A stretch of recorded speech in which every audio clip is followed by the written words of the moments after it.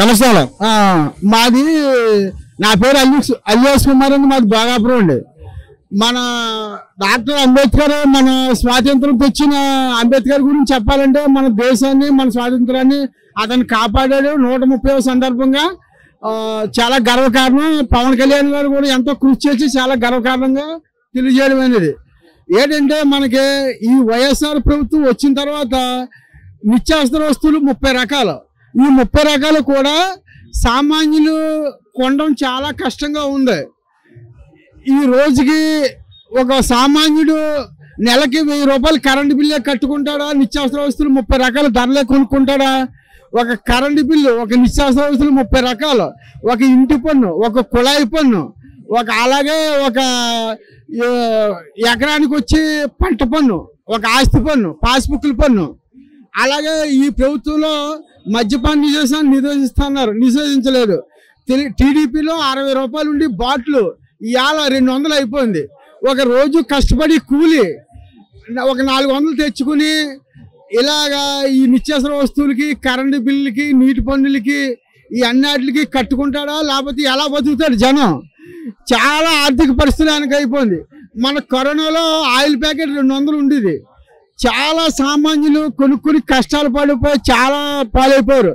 మన పవన్ కళ్యాణ్ గారు ఏంటంటే కరోనాలో ఎంతో మంది ప్రాణాలు విడిచి వెళ్ళిపోయారు. డబ్బులు కట్టుకోలేక ఇబ్బందులు పడిపోయి చనిపోయారు. అందు గురించి మన పిఠాపురం మండలాన్ని ఒక సింగపూర్ పట్టణంగా మార్చి ఒక మన పిఠాపురాన్ని ఒక హాస్పిటల్ కట్టించి ఎంతో లేని వాళ్ళకి ఎంతో ఉన్న వాళ్ళకి కూడా హాస్పిటల్ ముఖ్యంగా పని అవుద్ది మన రైల్వే గేట్ కూడా అతను పవన్ కళ్యాణ్ గారు ఎంతో తీర్చిదిద్ది రైల్వే స్టేషన్ని మన విశాఖపట్నం రైల్వే ట్రాక్ కింద మార్చి అలా మన పాత కోనేరుని ఎంతో డెవలప్ చేసి పాత గ- ఎంతో పూర్వం నుంచి డెవలప్ అయ్యి పాత క్షేత్రాన్ని చాలా డెవలప్ చేసి పవన్ కళ్యాణ్ గారు ఎంతో ఆవేదన తెలుపుతున్నారు. అతను డబ్బులు సంపాదించుకోవాలంటే ఒక సినిమా తీస్తే అతనికి ఒక సినిమాకి ఒక యాభై కోట్లు వస్తుంది.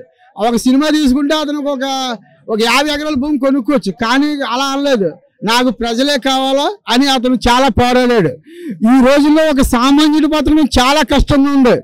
ధరలు కాలిపోతున్నాయి. ఈ హాస్పిటల్ బిల్లు కాలిపోతున్నాయి. పిల్లల చదువులకు చాలా ఖర్చులు ప్రైవేట్ ఫీజులు కానీ గవర్నమెంట్ ఫీజులు కానీ చాలా ఎక్కువైపోతున్నాయి. ఒక రిజిస్టర్ ఆఫీసులో రిజిస్ట్రేషన్ ఉంది. ఒక ఎకరం భూమి కొనుక్కుంటే మీకు ఇవాళ రిజిస్ట్రేషన్ ముప్పై వేలు అయింది. ఇవాళ లక్ష ముప్పై వేలు అయింది. ఇలాగే పెంచిపోతుంటే ఈ వైఎస్ఆర్ ప్రభుత్వం చేసే పనులు ఏం చేయాలా? ఎలా చేయాలా? ప్రజలు చాలా అట్టుమిట్లు అట్లడిపోతున్నారు. ఒక పాస్బుక్ల మీద ఉన్నాయి. ఆ వైఎస్ఆర్ ఫోటోలు వేయించుకున్నారు పాస్బుక్లు వేయించుకున్నారు ఈ ఇది ఎప్పుడో మన రాష్ట్రం నలభై సంవత్సరం పంతొమ్మిది వందల నలభై ఐదు కాడి నుంచి ఇలా ఏ ముఖ్యమంత్రి కూడా చేయలేదు. చాలా దారుణంగా తయారైంది. జనాలు చాలా అల్ల- అట్టట్లాడిపోతున్నారు. తర్వాత మీకు పొద్దున్న లేచిన కాడి నుంచి జనాలకు వణుకు దడ. ఏటి? రేపు పొద్దున్న మనం కూరగాయలకు వెళ్తే కూరగాయల ధరలు ఎలా ఉంటాయి? ఇవన్నీ కూడా సామాన్యుడు చాలా కష్టపడిపోయి తపన పడిపోతున్నాడు. మనకు పైన స్టేజ్లో టీడీపీ రావాలి ఇక్కడ మనకు పవన్ కళ్యాణ్ గారు రావాలి. అలా వస్తే మన బా- మన మన రాష్ట్రం డెవలప్ అయ్యి బాగా ఎక్కువ డెవలప్లోకి వస్తుంది. నమస్కారం నమస్తే అండి. ఈసారి పిఠాపురంలో ఎవరు గెలుస్తారు? ఖచ్చితంగా జనసేన జెండా ఎగురుతుంది. పవన్ కళ్యాణ్ గారు అత్యధిక మెజారిటీతో లక్ష మెజారిటీతో గెలుస్తారని మా అంచనా. వర్మ గారు సపోర్ట్ లేకపోతే పవన్ కళ్యాణ్ గారు గెలవడం కష్టం ఉన్నారు నిజం అబద్ధం నిజమేనండి. యాజ్ ఏ రూల్ ప్రకారం వర్మ గారు యాక్చువల్గా పవన్ కళ్యాణ్ గారు చేయరని ఇండైరెక్ట్గా నాకు ఇన్ఫర్మేషన్ ఉంది. నేను ఈ నియోజకవర్గం కాదు తాడేపల్లిగూడెం వలసే సీనియర్ ఆఫీస్ మాది. మేము మా జెండా అది. అక్కడ పోటీ చేయమంటే అక్కడ మా సార్ ఉన్నారని ఆ సీట్ త్యాగం చేయడానికి ఇష్టం లేదు ఇక్కడ పోటీ చేయమన్నారు. యాక్చువల్ వర్మ గారు ఇప్పటికీ చేయరు. నాకు నా ఉద్దేశం ప్రకారం. నేను జంకన మా ఎవరికి భయపడే శక్తి టైప్ కాదు. వరమ గారికి చంద్రబాబు చంద్రబాబు గారు ఒక ఎమ్మెల్సీ హామీ ఉంది. ఆయన సీటుని త్యాగం చేశారు కాబట్టి పవన్ కళ్యాణ్ గెలిపించుకోవడానికి ఆయన ఇప్పుడు బుధం కట్టారు. అంత మొన్నటి వరకు కూడా ఆయన దగ్గర తెలుగుదేశం పార్టీ నాయకుల గారు కానీ లీడర్ల దగ్గర కానీ కార్యకర్తల దగ్గర కానీ జనసైనికులకి కనీస గౌరవం అయితే లేదు. మరీ చీపుగా చూస్తున్నారు. ఏ మీటింగ్లకు వెళ్ళినా ఏ ఇట్లకి వెళ్ళినా సరే మరీ చీపుగా చూస్తున్నారు. అది అలా మార్చుకుంటారేమో అని చిన్న ఆశ. మార్చుకుపోయినా మార్చుకపోయినా జనసేన జెండా ఎగురుతుంది. పిఠాపురం నియోజకవర్గం రాష్ట్రం మొత్తం మీద కడప పులివెందులో జగన్మోహన్ రెడ్డికి ఎంత పట్టు చంద్రబాబు నాయుడికి కుప్పం ఎంత పట్టో తాడేపల్లిగూడెంలో బొలిసిన గారికి ఎంత పట్టో పిఠాపురం నియోజకవర్గంలో పవన్ కళ్యాణ్ గారికి అంత పట్టు అని ఇక్కడి నుంచి మొదలవుతుంది. పొట్టున్నప్పుడు లాస్ట్ టైం ఎలక్షన్స్లో పవన్ కళ్యాణ్ గారు ఎక్కడి నుంచి కాకుండా భీమవరం నుంచి ఎందుకు పోటీ చేశారు? కాపులు నమ్మాడు అన్న కాపుల సంఘం పేదల సంఘం ఒక సామెత ఉంది. కాపుల సంఘం పేదల సంఘం మా- మా వాళ్ళు నలుగురు నాలుగు పార్టీలు ఏడుస్తారు. జనసేనని ఏడుస్తారు తెలుగుదేశంలో ఏడుస్తారు వైఎస్ఆర్సీపీని ఎడుతారు ఎందుకు ఎడుతారంటే పదవుల కోసం. పదవి లేకపోతే మా వాళ్ళు చచ్చిపోతారు. పదవి లేకపోతే చచ్చిపోతారు పదవి ఉంటేనే ఇప్పుడు శ్రీనివాస నాయుడు జనసేన కార్యకర్త అంటే ఒక బ్రాండ్. అదే శ్రీనివాస నాయుడు వైఎస్ఆర్సీపీ ఒక లీడర్ అంటే అదో బ్రాండ్. అది కావాలి ఇది కావాలి మేము చెక్ చేసుకుంటే. మాకు లే- మా నా వైఎస్ఆర్సీ పార్టీని వదిలేసి నేను తాడేపల్లి నియోజక కొట్టి సచిన దగ్గర కొట్టి విషయాల దగ్గర నేను పర్సనల్గా చేశాను. వన్ అండ్ హాఫ్ ఇయర్ ఆయన చాలా మంచి వ్యక్తి. నాకు ఆయన వద్దనుకునే నేను జనసేనలో జాయిన్ అయ్యాను. నేను కొట్టి విషయాల గారిని కాదని కొట్టి సచిన కాదని ఇప్పుడు డైరెక్ట్గా నేను జనసేన జెండా ఎత్తుకున్నాను నా భుజాల మీద. మా నియోజకవర్గంలో మా ఊర్లో ఫస్ట్ జెండా నేనే కట్టాను. ఆది గారు కూడా ఇక్కడికి వచ్చినప్పుడు ఎవరికి ఇన్ఫర్మేషన్ లేకుండా కమర్షియల్ స్కీమ్ స్కెచ్ అన్న. ఇప్పుడు కూడా ఇక్కడ వరమ్మ గారు వస్తేనే జనాలు వస్తారు. వరమ్మ గారు వస్తేనే జనాలు వస్తారు. వరమ్మ గారు వస్తే కార్యకర్తలు వస్తారు. జనసేన కార్యకర్తలు రానివ్వరు బెదిరిందరు భయపెట్టడాలు? లేదంటే ఇప్పుడు ఇప్పుడు ఇంత ఇంత హడావుడు జరుగుతుంది కదా అంత అది జరుగుతుంది కదా ఎవడు ఉన్నాడు ఇక్కడ? నువ్వు కెమెరా కవర్ చేయి ఎవరున్నారు జనసేన కార్యకర్తలు? వరమ్మ హ్యాండ్ ఓవర్లో అందరూ ఉంటారు. జనసేన కార్యకర్తలు కూడా మరి ఇక్కడ కార్యకర్తలు ఎవరు లేరని నువ్వు చెప్తున్నావు. మరి ఓటు ఎలా ఎలా వేస్తారు పవన్ కళ్యాణ్కి జనం రానప్పుడు ఎలా గెలుస్తాడు పవన్ కళ్యాణ్?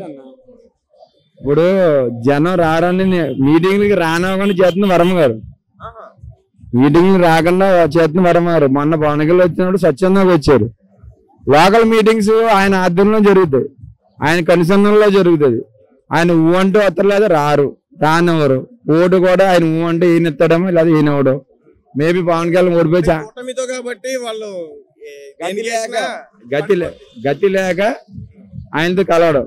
లేదా వరమ గారితో కలిసి మాకు ఉద్దేశం లేదు. అంటే నా నియోజకవర్గం కాదు.